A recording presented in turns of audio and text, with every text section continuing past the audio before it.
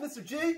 Welcome to Mr. G's Workshop. If you're new to this channel, I'm a high school shop teacher. That means I teach kids about automotive, welding, electronics, but I also do gas to electric conversions. Most recently, I teamed up with the Now You Know channel, Zac and Jesse, to convert a lawnmower over from gas to electric. Okay, so what we did with that project was we used uh, batteries to run a mower, right?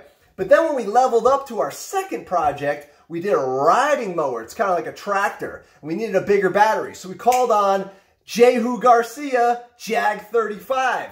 All right. Now, Jehu came through, sent us a battery, and we used it on that. But now we're going to give the battery away. So let me show you this battery. It's amazing, right? Check this out. This is what he calls the ammo pack. Okay. Now, this thing is huge, right? It is a one kilowatt pack. Now, what does that mean?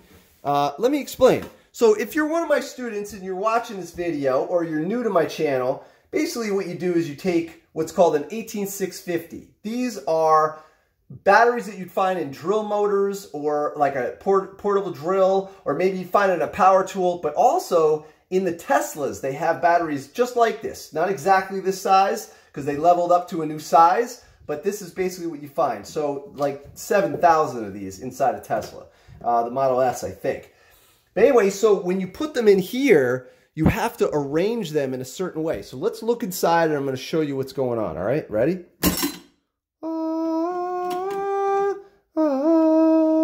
Okay, so check this out, right? So what you have inside here is, do you see the purple? Okay, so those are the batteries and they're placed in these little battery holders. And this ribbon is what connects the BMS. The BMS is a management system. So all this is being monitored together in a safe way. And then what happens is you actually have a state of charge. Bloop. Oh, actually, I do have to charge it. Look at that. Boom. So if you're one of my students or you're new to this channel and you want to learn about this, what Jehu has done is something amazing.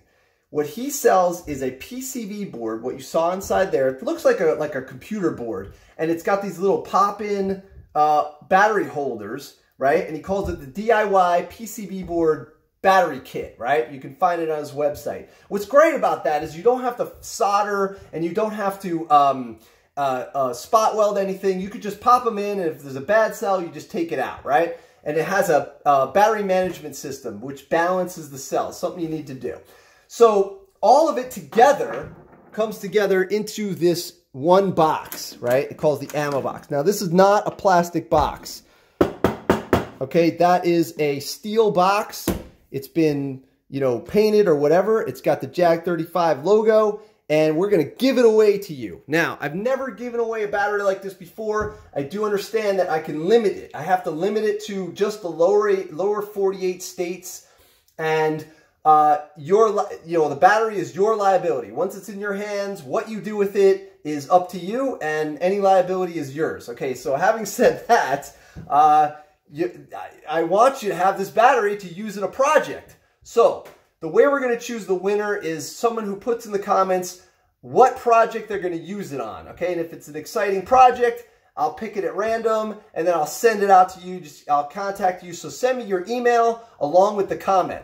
All right, so if you're one of my students, we're going to learn more about batteries coming up. And if you're new to my channel, thank you for joining. I'm Mr. G. This is Mr. G's Workshop. And stay tuned. We're going to have a lot of battery vehicle projects coming up. All right, thanks a lot.